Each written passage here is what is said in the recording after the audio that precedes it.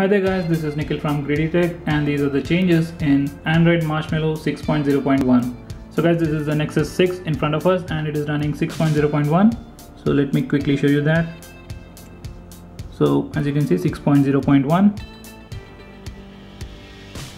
So now coming to the changes, firstly we have emojis. I guess that's what you call them.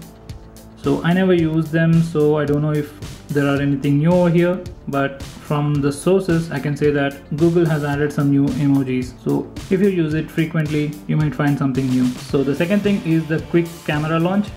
So when the device is locked you can simply press the power button twice to open the camera. Okay I messed it up.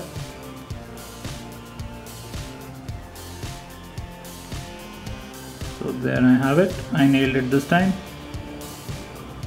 so let me just try that once again. The device is locked. There we have it. Once again. So guys it quickly launches camera.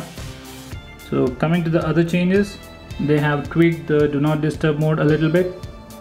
If I enable do not disturb mode now I get this option that says until 8:30 a.m. next alarm on 6.0.1 only if you have an alarm enabled you'll get this third option and if you don't have any alarm you don't get this third option. It's a small tweak but a very good one. These are the major changes on the mobile platform but on tablets android has grouped the back button and the home button to the left corner of the screen and the recent button to the right corner of the screen. You can see that in this image and that's pretty much it about the UI changes and rest of them are security patches. They have also reduced the lag in this copy paste section but I never noticed it.